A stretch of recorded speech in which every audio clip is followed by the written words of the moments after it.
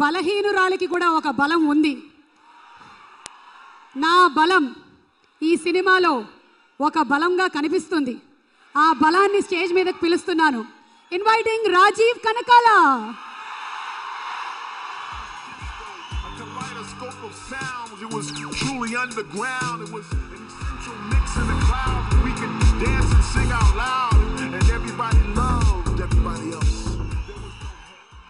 సాధారణంగా నేను పక్కనుంటే ఆయనకి ఎవరు మైక్ ఇవ్వరు.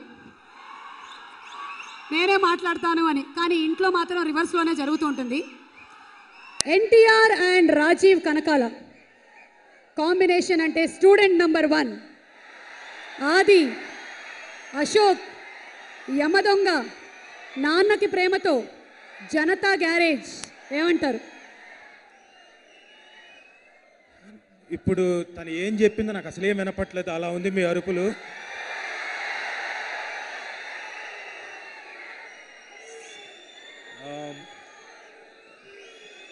ఈ సభకి విచ్చేసిన అందరికీ తోటి ఆర్టిస్టులకి ఫ్యాన్స్ అందరికీ వెరీ గుడ్ ఈవినింగ్. కాసేపు మాట్లాడిస్తారా? సరే ఎక్కువసేపు మాట్లాడను. ఇక్కడ ఈ కార్యక్రమానికి చూసారా ఒక బలహీనుడి పక్కన బలవంతురాలు ఎలా ఉందో?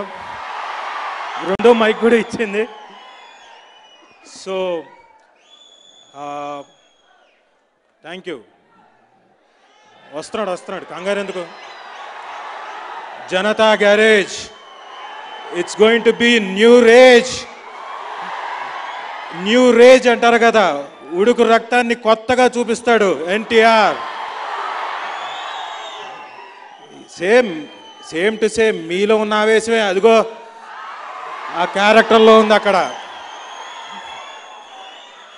సో ప్రతి ఒక్కళ్ళు ఈ సినిమాని డెఫినెట్గా చూసి ఆదరిస్తారు.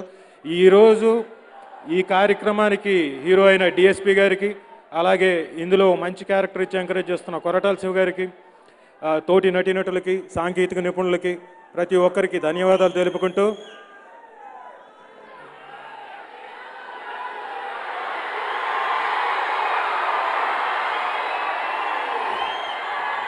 థ్యాంక్స్ చెప్పి వెళ్ళిపోనివ్వండి బ్రదర్ ఓకే మీ అందరి కోరిక మేరకు.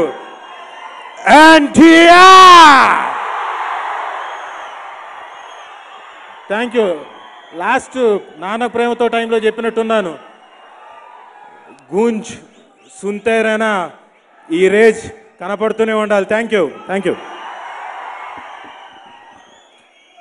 so బలవంతులు ఎప్పుడు బలహీనులకి రెండవ మైక్ ఇచ్చి బలాన్ని చేకూరుస్తుంట.